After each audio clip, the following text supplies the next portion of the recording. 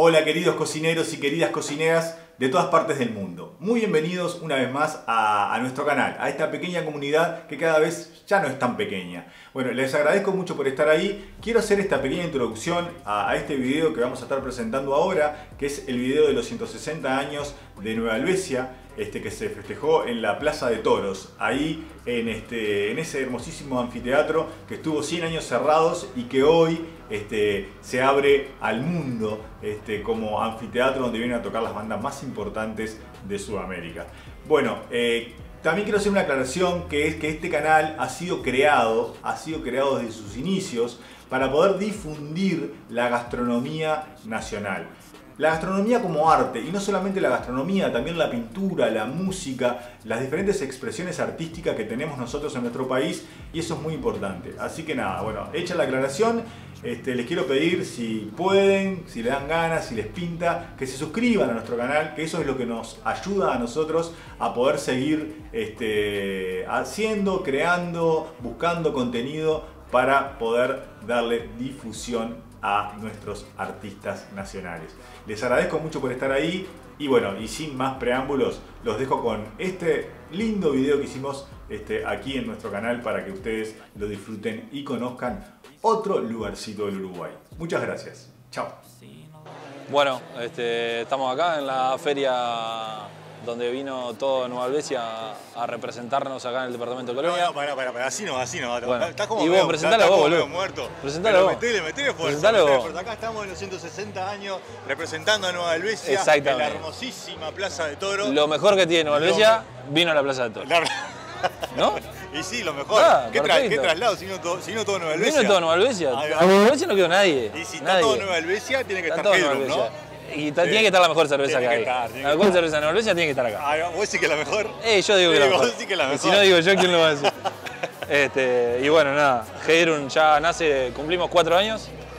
Heidrun ya tiene un recorrido primero en la ciudad y nos fuimos expandiendo. Incluso acá en Colonia nos encuentran en algunos barcitos.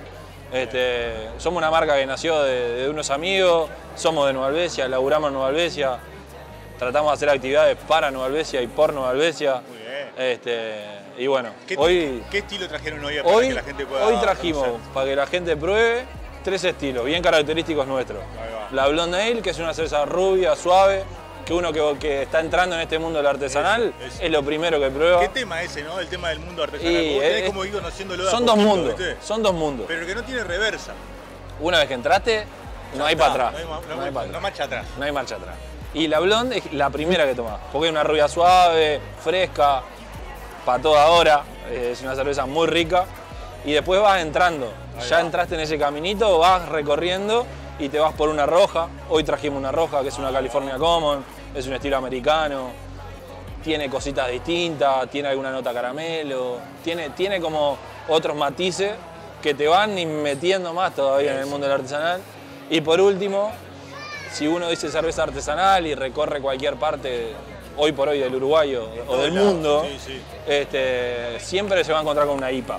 Ah, claro. Siempre se va a encontrar con una IPA. Una cerveza amarga, aromática, totalmente distinto a lo que es el mundo industrial, totalmente diferente. Tiene medalla, ¿no? Tiene medalla. Tenemos una cerveza, gracias a Dios, que sacó medalla, fue una cosa increíble para nosotros. Este, que es una cacao porter, que hoy no la pudimos traer. Es una cerveza que hacemos bien en invierno. Tiene cacao, como dice el nombre, y tiene frutos rojos. Ahí va. Y eso es una cerveza que, que si la encuentran o nos piden, generalmente tenemos porque dejamos de hacerla en invierno para hacerla todo el año. Claro, porque la claro. gente no- nos lo pedía así Qué siempre. bien, qué bien, qué lindo. Y eso fue como. Lo de la medalla fue. Es, es un- para nosotros es un orgullo porque es la única medalla que hay en Nueva Albesia Claro. en- a este nivel, o sea, al nivel de cerveza artesanal. Que la lata lo que tiene es que viaja, Sí. viaja fácil, Me encanta la lata segura. porque se enfría al toque. La ¿Viste lata que la vos- viste que vos metiste? ponés- ¿Viste que vos ponés la, la lata un poco de agua con Sí, hielo? a el, los me- 10 el- minutos la está el- el tomando. metal conduce mucho más rápido. Oh, qué rica, sí, Sí, sí. Ya me voy a tomar una Headroom de esta que ni se Vamos arriba, sí, cómo no. Sí, vamos, vale. Vos, Estamos ahí. Muchas gracias por la nota. Por favor. Mucho éxito. Por y favor. no se agarren con nadie, no se peleen con nadie. No, nosotros somos pacíficos. gente buena. Primero nos Son tomamos gente una buena. birra, hablamos. Somos más de eso. Primero vamos al diálogo. A ver el diálogo, siempre. Dale, vamos arriba, por favor. Escuché lata, un tip. A ver, Envolver en papel, en papel de cocina, mojalo, ¿En el aluminio ese? Heidrun cocina. Tips. Ah, le cocina, le cocina. mojalo al freezer, 5 o 10 minutos. Escuchá, ¿escucharon, no? ¿Escucharon Lata, cómo es la botella. Tips. Así, tips. ¿Cuántos minutos? ¿Cuántos minutos? 7 minutos. No, siete. No, no, no siete. ¿En serio? Siete, Siete minutos. minutos. Ah, bueno, la voy a hacer, la voy a hacer y le voy a contar. Vos, lo voy a hacer y le voy a contar. Ustedes también prueben, primero pidan la gente, después prueben. Y si no a hacer en siete minutos, le vamos a hacer. No, Que no venga, le vamos a hacer le un prestamos el hacha.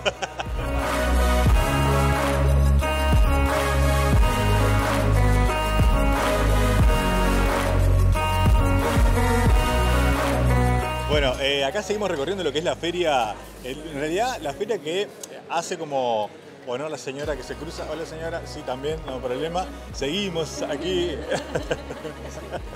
Eh, eh, festejando los 160 años de De Nueva Helvecia, ¿no? suiza. De la colonia suiza Nueva de Helvecia. la llegada de los inmigrantes al pueblo de Colonia Suiza.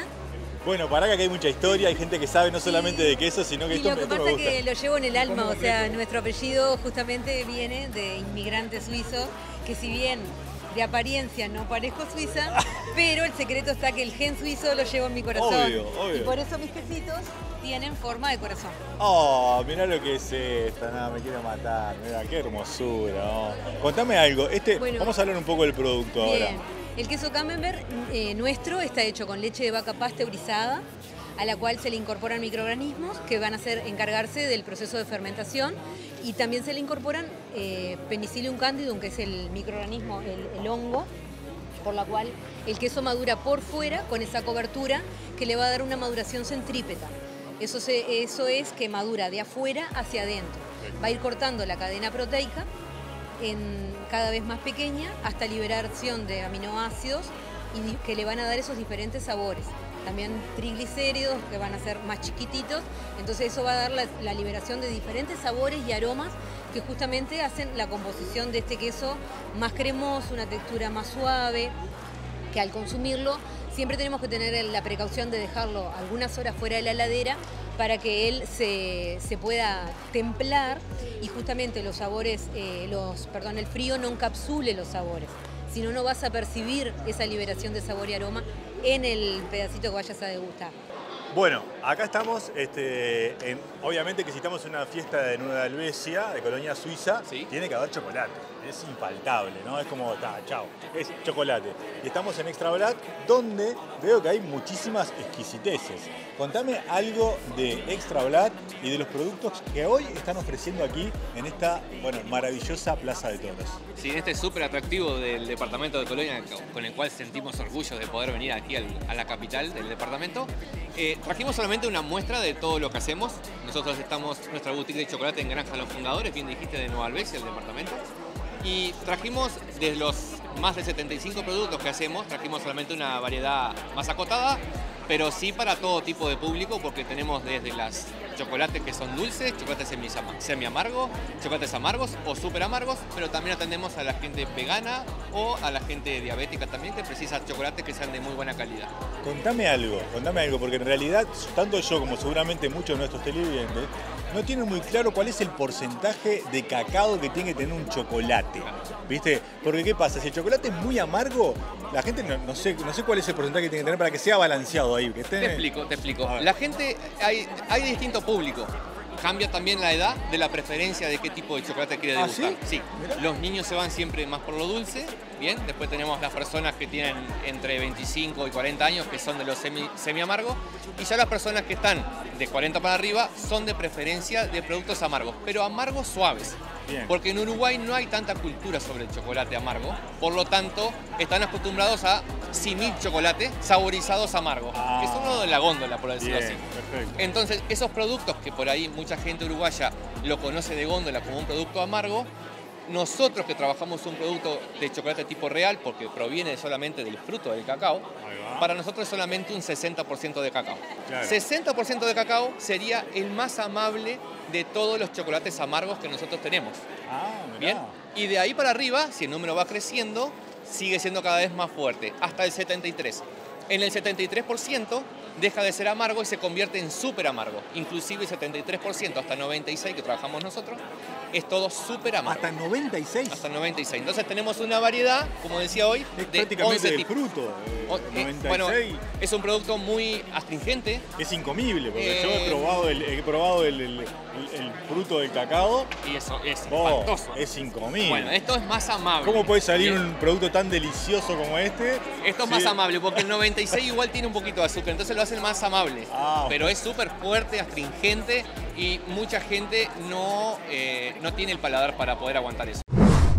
Buenas tardes. Bueno, mira, yo me llamo Marta Viñolo, eh, soy de Nueva Helvecia. Mm, Hago todo lo que sea reciclado, no se tira nada, se recicla todo.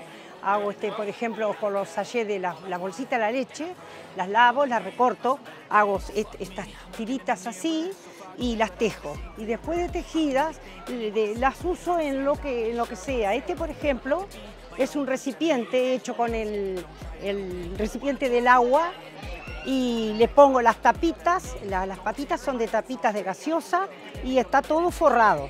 Después los imanes, estos imanes son con las tapas mismas del agua, de, la- de los bidones de 5 litros. Y todo, todo es reciclado, todo, todo reciclado. Y con los este, eh, tarritos de durazno, también frascos, no, no se tira, todo se usa. Estos son los frascos, yo soy una persona que soy diabética y lo- después que me como el dulce, pongo lo- los frasquitos, los, este, los, los- Estos son tarritos que son de cuajo, también que se tiran, yo lo- los recojo y, y- y los... ¿Te sientes bien haciendo eso? Me encanta, me encanta a mí las manualidades, me entretienen. Eh, para mí estar en mi casa haciendo esto, eh, realmente estoy acompañada, es un deleite. Y yo invito principalmente a todas las amas de casa, este, que, que no tiren nada, que todo se puede reutilizar y así este, eh, hay menos suciedad para el mundo, que estamos viendo todos los días, ahora que estaban hablando que los glaciales, que nos parece que nosotros no podemos, pero contribuimos, con un granito de arena contribuimos.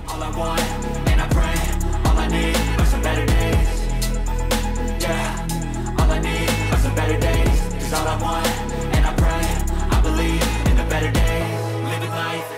day, late at night, not okay.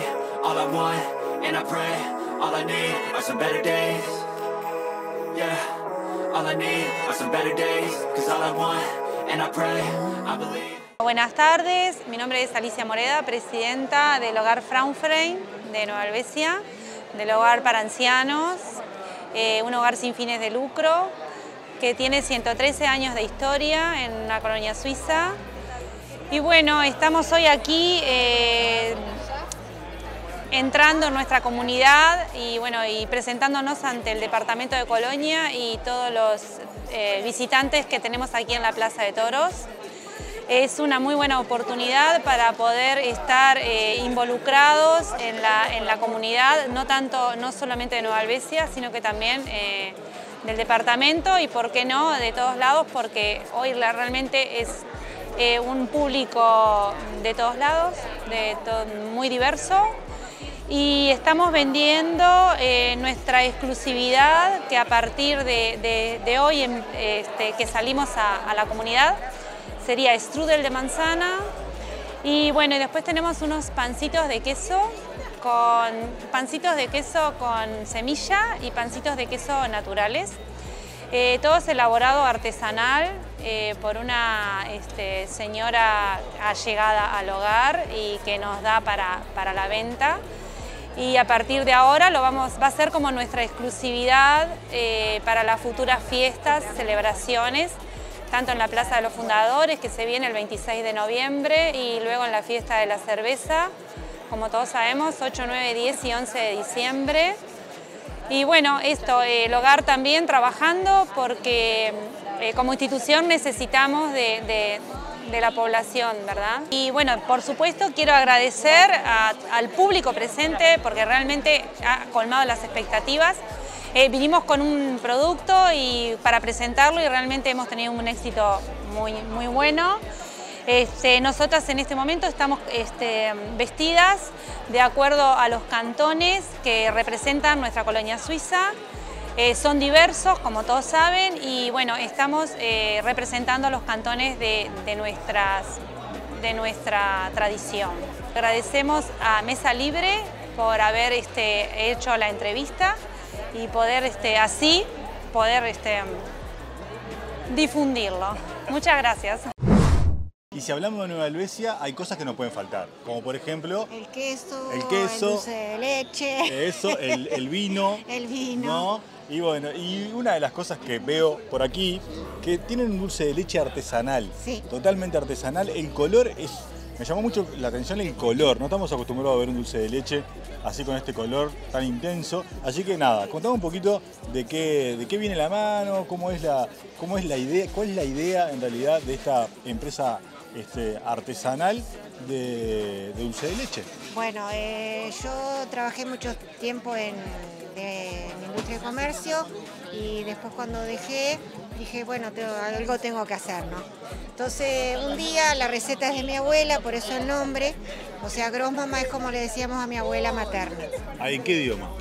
Es un alemán, o sea, eran de origen suizo, pero es un dialecto alemán. Perfecto. Grossmama. Este, Grossmama. Entonces la receta es de ella y bueno, un día empecé, hice dulce y dije, bueno, ¿y por qué no, no hacer dulce de leche, no? Claro. Y, o sea, de la idea del dulce, además del emprendimiento y tenerlo para como medio de vida, es que te lleve a recordar esas cosas, ¿verdad? Eh, la casa de tus abuelos, de tus padres, o sea, eso de antes que, que ahora la verdad se ha perdido mucho. Eh, ¿Hay algo de mito o es cierto eso de que el dulce de leche se tiene que siempre revolver para el mismo lado? Porque si lo revolvemos para el otro lado se corta. No, eso es mito, me parece. ¿Mito? Yo no lo revolví para los dos lados. Ah, cuidado entonces, cuidado que no sé si está el mito, ¿eh? Eh, yo eso lo tenía, por ejemplo, en el bizcochuelo, sí. ¿ven? En el bizcochuelo que hacía mi abuela decía, siempre cuando le pones las claras a lo último tenés que revolver para el mismo lado. Eso sí, pero en el dulce de leche igualmente yo nunca lo hice. Nunca revolví a, a Nunca, a ver, contramano. ¿Pero nunca se te cortó el dulce de No, leche? nunca se me ¿Vos sabés que yo hacía dulce de leche y a mí se me cortaba el dulce de leche? No. Y quedaba como granulado, ¿viste? Sí, bueno, hay veces que dice que sí, pero no, la verdad que no, o sea, porque la proporción, viste, es de, o sea, el bicarbonato que se usa es justamente para que no se corte y para darle el color ese característico. Ah, Además del azúcar que a medida que va hirviendo, también el azúcar le va dando ese color. Pero no, la verdad que nunca, hasta ahora nunca se me cortó. Porcentaje de leche y azúcar para hacer un dulce de leche quede bueno. ¿Cuánto es? ¿Medio kilo por litro? ¿200 gramos? ¿300 gramos? ¿Cuánto de azúcar por litro de leche? Por litro de leche son unos 200 gramos. 200 gramos. Sí. Y muchas horas de, de cocción, ¿no? Y te Muchas lleva horas. como tres horas. Ahí va.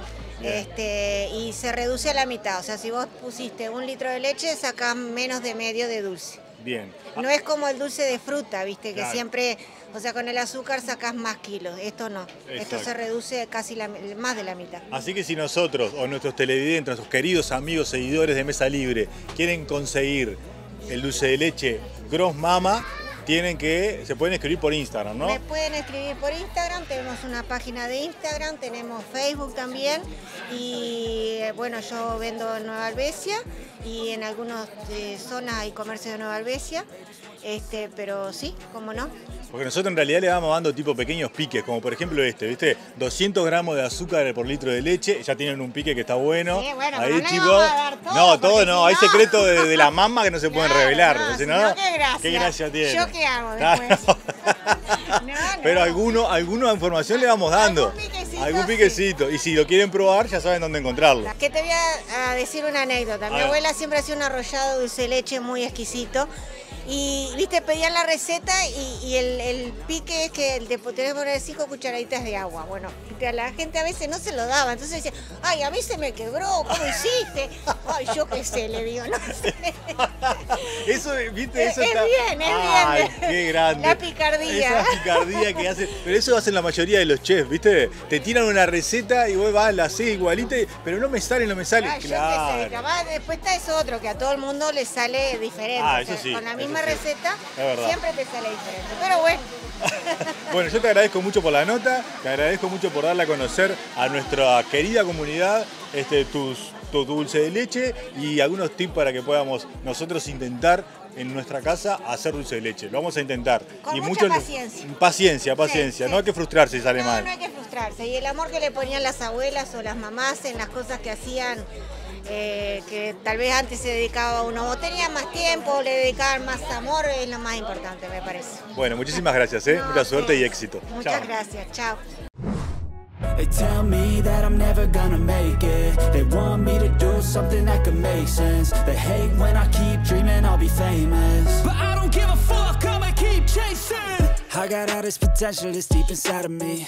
But they hate when you're successful cause they try to be. They sit there being judgmental because you're trying things. And they just want you to settle and do the right thing. So get a good job, don't slack off. Wake up every morning, make a good impression on your boss. Don't do anything that I wouldn't do. And when you're making money, make sure you don't spend it too soon. Fuck that, I'll do what I wanna do. I got a different path from everyone, and that includes you. Who are you to tell me how to live life? In these times, it feels like nobody's right, yeah. So I'ma figure out what else we succeed, and then invest all of my time into that and proceed. Uh, I need whatever the hell could make me happy, and I don't think you have a clue what could that be. They tell me that I'm never gonna make it. They want me to do something that can make sense. They hate when I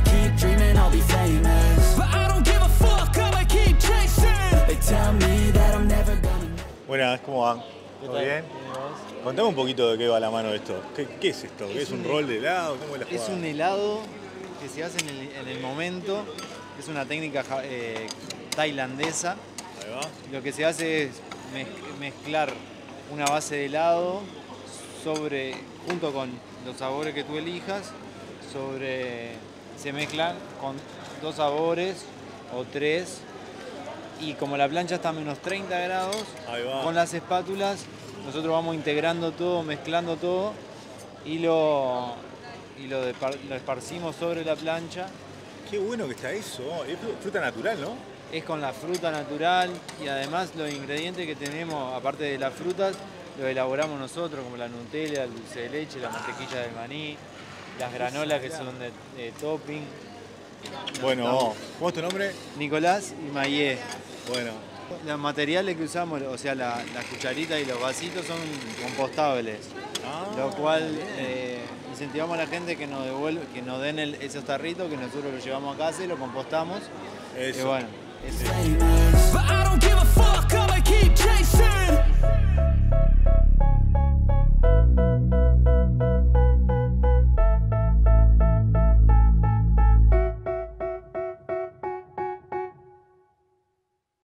queso Camembert, eh, en Colonia, Suiza, Sí. eh, hay muchos productores porque en realidad no lo he visto demasiado. ¿eh? No, somos algunos productores, sí ¿Son que varios hacemos. productores que lo Sí, hacen? no muchos, pero somos, sí. Eh, estamos, en general, las personas que lo hacemos tenemos una formación atrás que nos ayuda mucho porque realmente es un queso que te requiere de mucha atención y mucho conocimiento. ¿Es más difícil que hacer el Colonia, ponele, o el Damba, algo de eso? Bueno, mira, yo hace 25 años que me dedico, porque soy licenciada en Ciencia y Tecnología de Lácteos y, técnico en lechería, y me he dedicado a ayudar desde las empresas donde he trabajado a mejorar justamente los quesos con ojos. Y el queso con formación de ojos es uno de los quesos que a mí más me apasiona, pero es muy difícil de hacer. Ah, o sea, yo creo que cada uno tiene su impronta, tiene su, su, su parte compleja. Pero bueno, cada uno el que elabora su producto lo elabora con tanto amor que porque realmente en Nueva Albesia todos los productores que, que elaboran los quesos realmente sienten mucho Claro. cariño por lo que hacen. Vos sabés que yo te cuento una cosa, yo hacía queso cuando vivía en el campo, y esto es verdad, eh, cuidado con esto. Yo hacía queso, nunca supe qué, qué queso hacía. No, era un queso ciego, ¿Y qué, porque no y tenía qué ojo. tiempo de sal le dabas, por ejemplo? Ah, ¿Varios no días? sé, varios días, sí, si tampoco le era... dabas una semana era un queso semiduro, más bien tipo, eh, tipo semiduro. Un Sbrinz, un Ah, no, me lo comía, sí, puede ser que a veces quedaba medio, medio du- duranga, sí. Pero bueno, era, el que, era el, que, el que podía hacer y el que hacía ahí que me salía medio de improvisado. ¿Quieres probarlo? Y bueno, yo capaz que lo pruebo, ¿no? ¿Vos qué decís? ¿Lo probamos? Es suave, sí, un Sí. queso suave. ¿Con qué lo acompañás a este queso si tuvieras que acompañarlo con algo? ¿Alguna, ¿Algún tip para, para acompañar el quesito? En una picada con, con ajo, unas tostadas, queda muy rico. Y si no de postre con dulce de quinoto queda bien. Y si hablamos de, de combinar a- este tipo de queso camembert con algún, algún vino, Sí, ¿qué, bueno, qué eso puede es muy ser? versátil. ¿Es versátil? Es versátil porque eso depende del consumidor. El vino blanco va mejor. A nosotros ¿Sí? nos gusta mucho con un torrontés, que es una cosecha dulce tardía, Ahí va. y eso realmente la, la- la- la- la- la conjunción esa queda muy buena, pero en el caso de los vinos no los podemos meter porque hay mucha gente que le gusta un camembert o un merlot o algo más eh, diferente y, y también va bien porque le gusta a la persona. Claro, lo importante es que te guste. Entonces no el tema es que te guste, el tema es que a veces hay como algunos maridajes como que se recomiendan, Son- ¿viste? Claro, claro. Pero. Nosotros encontramos que el maridaje perfecto para nuestro queso es un, es un cosecha tardía, o sea, un vino blanco dulce, pero dulce natural. Ahí va, ¿Está? bien. Bueno, vayan anotando, eh, vayan anotando, ya tenemos todos los piques. Ahora vamos a probar Vas a probar el El- quesito solo, solo. que se solo. come con la cobertura de moho, justamente. Con jamón crudo queda espectacular también. Qué rico que está esto, ¿no? favor. Va, está tremendo, está tremendo. ¿Este queso lo puede conseguir la gente por a través de Instagram? Sí, ¿Ustedes claro. lo mandan a diferentes partes del país? Sí, claro, lo podemos mandar a donde necesiten. Eh, mi Instagram, que es la red social que manejo para el desarrollo del emprendimiento, es arroba honegar.uy y ahí me encuentran en el Instagram. Ahora te voy a dar a convidar camembert con mermelada de quinota que hicimos, quinoto que hicimos en casa. Ah, pero acá tenemos, está todo. Es, Sacando semillas es increíble este queso, por favor. Ah, me vuelvo loco. Ah, qué delicia. oh. No, no, impresionante. Es suave. Hay queso camembert más amargo, pero este es suave. A medida que va madurando, él va, se va poniendo cada vez más intenso. Y llegado al final de vida útil, se pone muchas veces muy amargo. Pero mm, bueno, está en un Qué tiempo... buena que queda la combinación con el Es quinoto. épico, Es, esa combinación es es tremenda, Sí. tremenda. No lo puedo creer.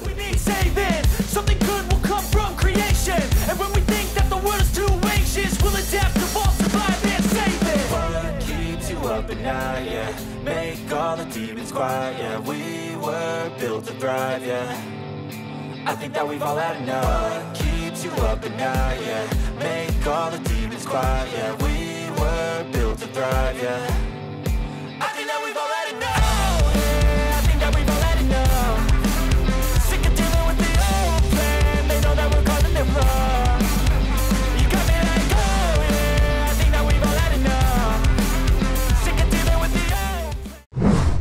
Entonces, cuando tenemos gente que nos viene a visitar en este colonia maravilloso y que es muy atractivo para otros turistas de otros eh, lugares del mundo, prefieren todo lo que es amargo. Ah. Lo- De los amargos eh, más eh, aptos para todo público, como el 60 o hasta el 96, pero varían por ahí, vamos a decir. La gente que tiene una edad entonces de 40 para arriba y que es de Europa o está... Ah, eh, yo no soy de Europa.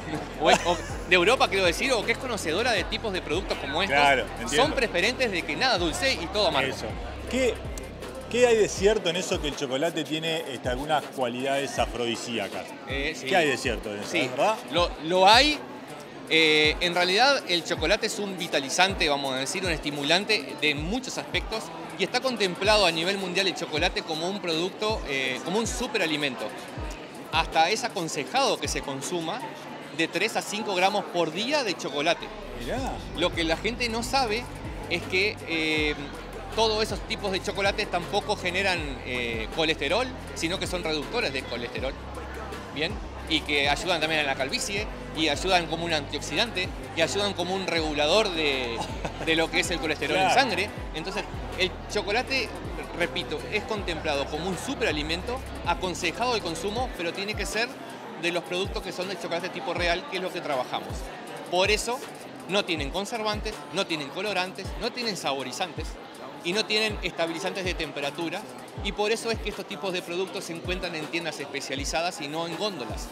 Porque necesitan un cu- cuidado especial y también necesita el cliente un asesoramiento correcto Claro, para exacto. que pueda invertir su dinero en un producto que está deseando. ¿Cuánto hay que educar al cliente para que entienda o para que conozca o para que aprenda a consumir chocolate? ¿Hay que educarlo mucho al público uruguayo o ya más o menos tiene como una, una idea bastante clara?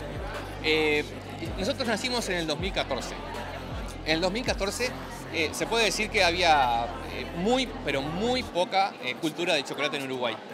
Desde ese entonces hasta ahora, y la pandemia ha ayudado a que las personas estén buscando productos que sean eh, no nocivos para la salud y sí que sean beneficiosos. Por lo tanto, no tiene nada que ver en el transcurso de estos años cómo está el público uruguayo. Hoy el público uruguayo conoce que hay algo que es muy bueno de consumir y que no le genera culpa consumirlo. Y está bueno hasta que lo consuma, o sea, ese es el, Qué el bien, tema. Así que bien. por lo tanto, venir a estas ferias que se hacen aquí o catas de vinos solidarias o lugares donde eh, podamos llegar a máximo de público, le damos a degustar algo que por ahí todavía no lo conoce, pero sí encontramos que el 50% de nuestros clientes ya eh, saben lo que es un chocolate real y ya saben lo que es un producto que no genera ningún tipo de perjuicio. Gracias. Bueno, Fernando, te agradezco muchísimo. La gente de Mesa Libre te agradece mucho por tu tiempo, por tu buena explicación de todo lo que está pasando con el chocolate. Nosotros nos vamos a seguir dando una vueltita por esta espectacular feria este, artesanal y gastronómica que hay hoy aquí en la Plaza de Toros. Eh, Con un día increíble. con un día maravilloso y con el, eh, la excusa de los 160 años de Nueva Helvecia, porque en realidad siempre es una excusa tener lindos momentos para juntarnos. ¿no? Bueno, muchachos, seguimos acá en Mesa Libre, seguimos recorriendo la feria y nos vamos a ir a, bueno, a algunos otros eh, emprendedores. Emprendedores no, porque está gente que ya está puesta, ya tiene su, su- su cabeza en realidad y su profesión instalada en esto. eh, El resultado del amor en realidad muchas veces son estos productos, ¿no? Porque esto no solamente necesita un buen cacao, como dice Fernando, sino que también lleva mucha calidez humana para poder lograr un producto de excelencia. Así que nada, nos seguimos recorriendo, gracias Fernando, y nos vemos en la vuelta a la esquina. Gracias, muy amable. Muchas gracias a vos. Chao. I wanna break faces on the pavement. I wanna make great